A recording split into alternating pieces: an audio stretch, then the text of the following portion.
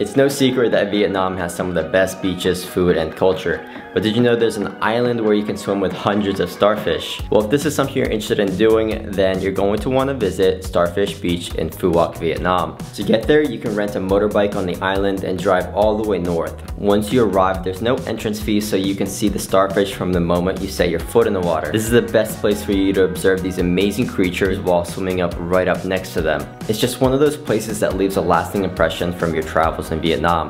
It's isolated, it's pristine, and it's well hidden, so very few tourists actually make it out to visit there. But the best part is right around sunset when the tide begins to get lower. All of a sudden, the sandbar begins to appear where you can take a walk while trying not to step on the hundreds of starfish surrounding you. It's an unbelievable experience and one I will never forget from my time traveling in Vietnam.